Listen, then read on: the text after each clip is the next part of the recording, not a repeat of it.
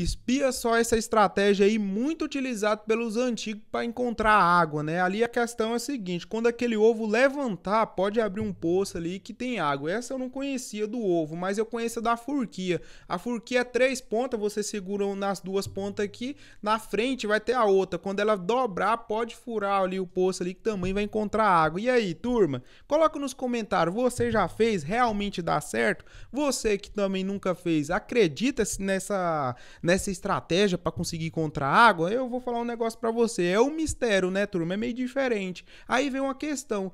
Vocês querem que eu faça o teste para ver? Porque eu nunca fiz. Eu conheço um poço que foi furado utilizando a furquia, mas como eu não presenciei, então não posso dar o meu avar ainda. Mas se nós fazer o teste, aí eu trago para vocês, aí eu posso falar, turma, é verdade. Não, turma, é mentira. Nós já faz um teste onde já existe um poço, que aí a gente pode dar o avar, né? Não, turma? Então é isso aí, turma. Vamos pro proseando que daqui até lá a gente faz um videozinho mostrando para vocês se realmente dá certo, beleza? Até o próximo vídeo, deixa o like, segue nós que é para poder estar tá acompanhando nosso conteúdo.